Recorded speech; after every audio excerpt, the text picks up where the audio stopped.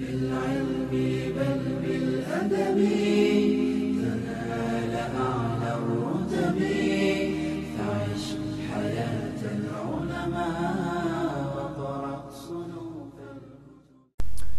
بسم الله الحمد لله والصلاة والسلام على سيدنا محمد وعلى آله وصحبه أجمعين اليوم إن شاء الله سوف نأخذ درس تقديمي عن خاصية transition كما يعرف البعض أن ميزة هذه الخاصية تتيح لنا إمكانية إعطاء خصائص CSS أخرى مثل ال color وال padding وال border radius إلى آخره أه وقت للظهور سواء مدة بسيطة أو سريعة ويمكن أن نحدد الوقت بالثواني أو بالجزء من الثانية مثلا هنا أخذت مثال تطبيقي أنشأته آه، وضعت div له ID اسمه container بعد ذلك وضعت داخل ال div paragraph آه الذي سوف نقوم بتحريكه.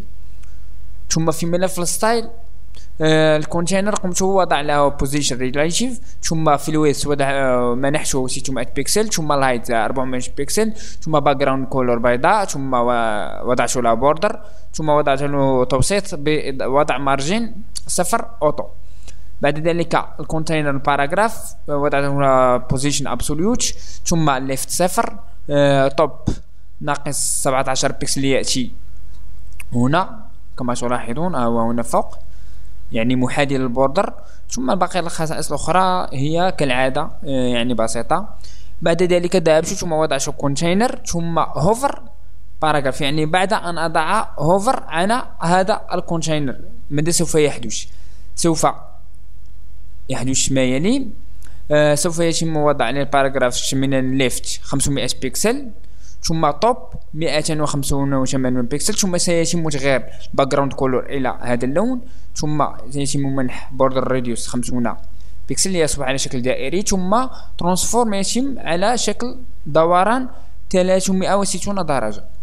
نلاحظ المثال هذه animation CSS 2 الاصدار الثاني كما تلاحظون يعني لم إيه، لا يوجد هناك أي انسيابية في الحركة أو لهذا تم وضع خاصية transition مثلا سأذهب هنا ثم أضع webkit ثم transition ثم هنايا ال property يعني ال جميع العناصر ثم ثلاثة ثواني أو ثلاثة آلاف millisecond ثم هنايا ease يعني آه آه الحركة تتم بسرعة. بعد ذلك عفوا تبدأ ببطء ثم آه تبدأ بسرعة ثم تعود ترجع ببطء مثلا لو عملت الآن refresh عملت save ثم عملت refresh كما تلاحظون أذهب إلى هنا. كما لاحظتم هناك انسيابية. كما تلاحظون هناك تغيير كبير.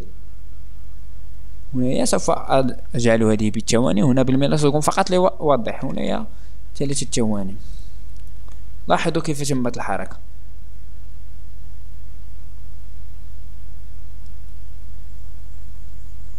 لو ألغيت هذه وضعتها في تعليق لاحظوا الآن. يعني عمل آه، غير جميل. لكن بإضافة ترانزيشن يصبح جميل. إلى هنا نصل إلى نهاية الدرس. هذا فقط كان درس تقديمي الآن سوف ننتقل إلى آه، الإعدادات المتقدمة في الترانزيشن. إلى اللقاء.